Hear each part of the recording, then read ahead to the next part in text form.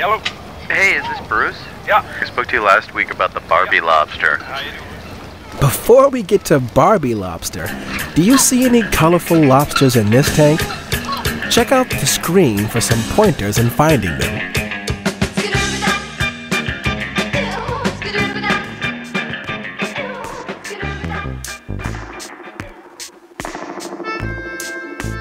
You might see a red, a blue, and even a white lobster in this tank.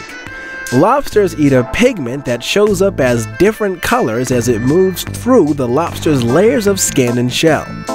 Sometimes this pigment isn't evenly spread out, like a blue lobster has its pigment concentrated in the shell layer. But some colors are just not natural on lobsters, like checkered patterns or bubblegum pink. You might be wondering exactly what is the Barbie lobster? Answers coming up.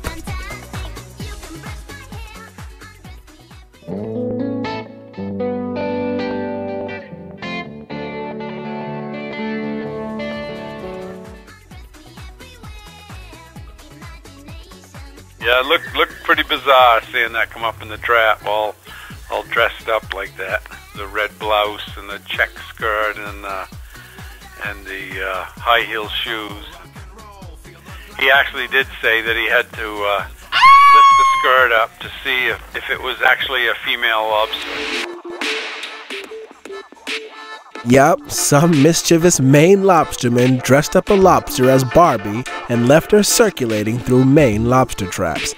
And while tracking lobsters via Barbie costume might be creative, Warming Oceans have got lobstermen working with scientists to develop innovative ways to track lobster movement due to temperature changes.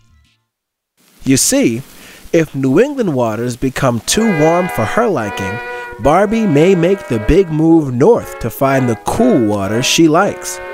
This is an issue for many animal species that are trying to cope with warmer oceans. Keep listening to meet someone on the front lines of this research.